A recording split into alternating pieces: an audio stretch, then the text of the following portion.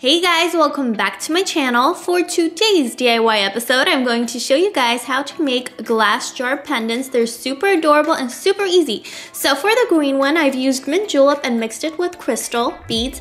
Blue is sapphire, again mixed it with crystal. And then the pink one is called neon pink and I've also mixed it with the crystal just to give it extra dimension. Here I'm pouring out the beads and then taking off the cork, I'm going to add in clear soap just to cover the bottom and then taking my tweezers I'm going to be adding in a mixture of beads. Now, why I like the pink one is because it gives it dimension. It has different shades of pink, different sizes.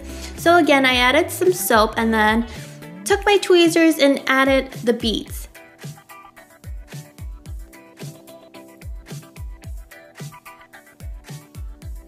Then I'm going to add a little bit more soap just to keep my beads um, saturated with the soap and super soapy.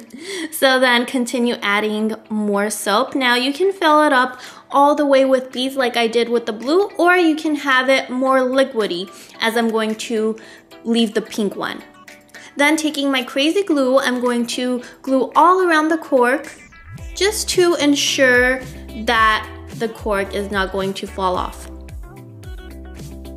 Then I'm going to gently press it down with my finger. And then I'm going to glue it one more time. Taking my eye pin, I'm going to use my pliers to cut off half and then press in the cork. And that's it. I hope you guys enjoyed it and have lots of fun creating your own glass jar pendants. I love you so much. I'll talk to you soon. Bye.